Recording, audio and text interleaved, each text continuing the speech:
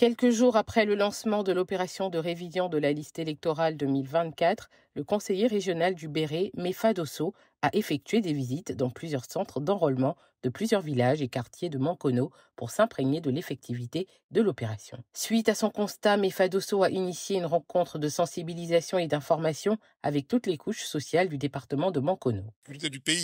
Nous avons un candidat et notre candidat c'est le président de la République. Nous pensons que c'est le cheval gagnant.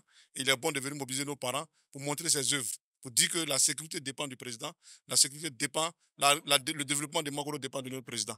Fofana Abou, ressortissant de Sanrala, se dit satisfait de cette initiative et a lancé un appel à l'endroit des populations non inscrites sur la liste. Tous ceux qui ne sont pas sur la liste, vraiment prendre courage pour aller s'inscrire sur la liste, surtout les nouveaux majeurs et puis ceux qui doivent se déplacer, déplacer tout ça là-dedans. Au centre d'enrôlement de l'EPP Lémissa d'Osso, en passant par le centre de l'EPP du village de Sokourala, l'opération est au ralenti.